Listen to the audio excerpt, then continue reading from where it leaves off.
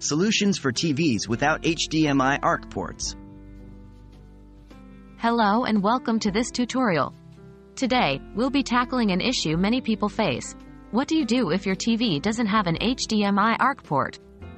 While HDMI ARC has become a standard feature in many newer televisions, if you have an older model you might find yourself without this handy feature. But don't worry, there are solutions available that will still give you great sound quality. What is HDMI ARC? Before diving into solutions, it's important to understand what HDMI ARC is. HDMI ARC, Audio Return Channel, allows for the transmission of audio from your TV to your sound system without the need for extra cables. This simplifies the setup process and reduces cable clutter. Why do I need HDMI ARC? If you're asking this question, it's likely because you want to connect an external audio system, such as a soundbar or AV receiver, to your TV. HDMI ARC makes this process easier and allows for better audio quality.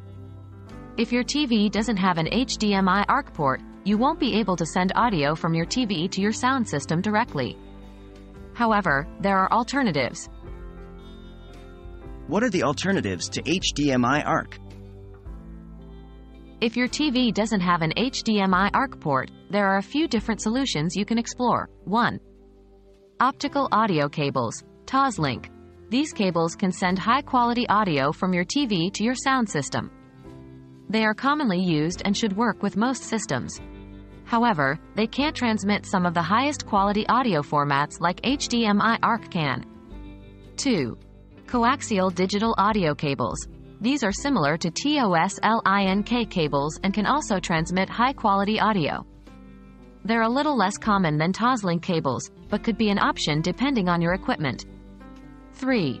RCA cables. These are the red and white cables that have been used for decades. They can transmit stereo audio, but not high-quality digital audio. They're a good budget option if your sound system doesn't support digital audio. 4. Upgrade your TV or sound system. If none of these options work for you or if you're after the highest quality audio possible, you might consider upgrading your TV or sound system to models that support HDMI ARC. How can I use these alternatives?